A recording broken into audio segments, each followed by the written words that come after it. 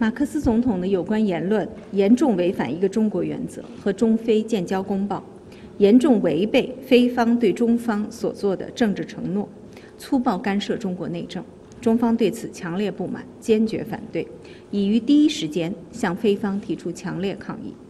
今天上午，农荣部长助理召见菲律宾驻华大使，提出严正交涉，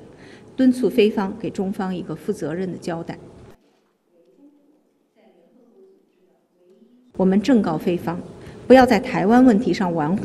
切实恪守一个中国原则和中非建交公报，立即停止在涉台问题上的错误言行，停止向台独分裂势力发出任何错误信号。我们建议马克思总统多读读书，正确了解台湾问题的来龙去脉，从而得出正确的结论。